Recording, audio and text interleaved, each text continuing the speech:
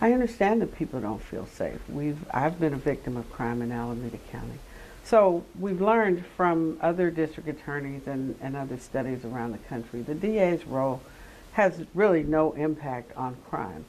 To create a safe community, we need to invest in um, alternatives to incarceration. We need to invest in programs for young people.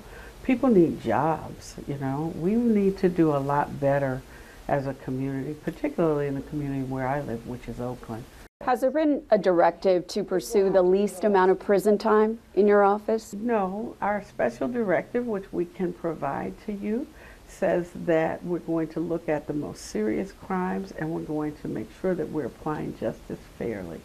Anytime that we can divert someone from the criminal justice system, that is a goal because the criminal justice system has been shown to be racially biased and undermining, it destabilizes communities.